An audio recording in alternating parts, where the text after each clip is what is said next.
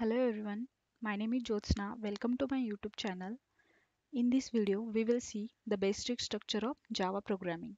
So, which way we write Java program, which part it contains while writing a Java program, which structure it contains.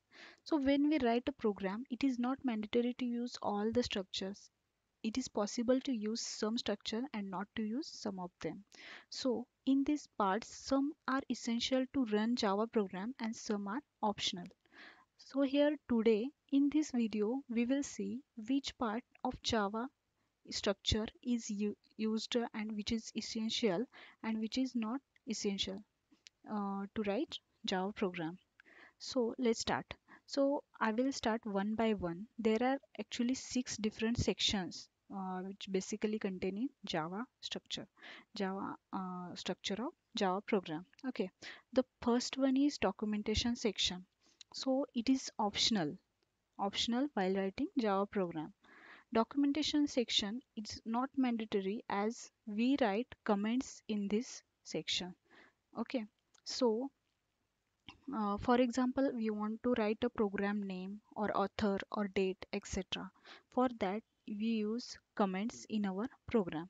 There are three different way, ways in which we write comments. Okay, the first one is used to write a single line comment. Other two ways are used to write a uh, multiple line comments.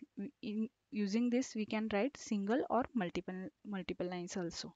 The only difference is using this third one, um, we can uh, generate automatic documentation when we run the program, right? So the next section is package statements, which is also optional. So uh, it is used uh, when we are creating a package in program. It means if we are defining any class below the package statements, then it belongs to that package. Suppose we want to make some package. Uh, the package, uh, for example, uh, you want to uh, make a package of student, uh, student name. Okay, so we will write it as package, which is a keyword. it is actually small letter. And student it is the name of package with ending with semicolon. So now we can define uh, classes under this package. If you define some class under this package student then that class belongs to this package. Okay.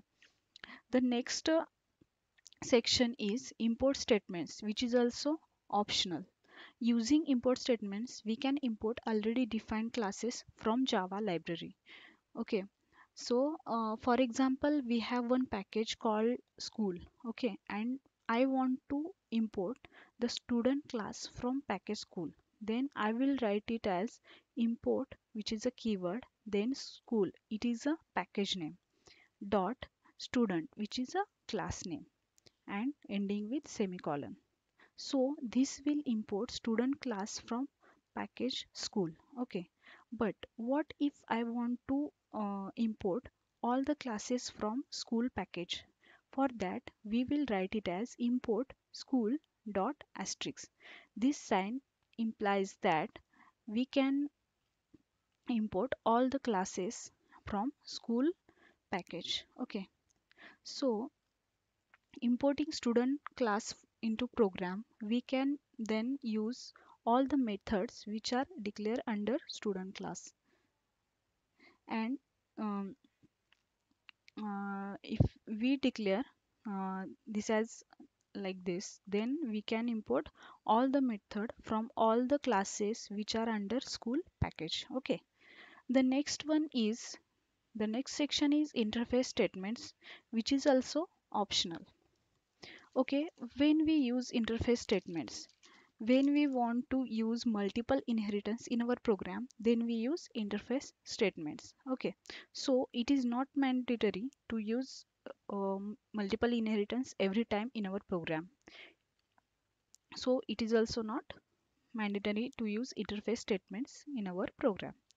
Okay the next one is class definition which is mandatory if we want to define multiple classes in our program, we use class definition section. In this uh, section, in each class, we can declare a variable, define a variable, methods, uh, and we can define everything uh, re regarding class in the class definition. Okay. The last one is main class definition. In main class definition which is also a mandatory section in this we define a main uh, class which is from which our program starts. So it is not uh, it is not possible to run our java program without using main class. So it is also mandatory section. So this is all about six different sections which contains in our while we write our java program.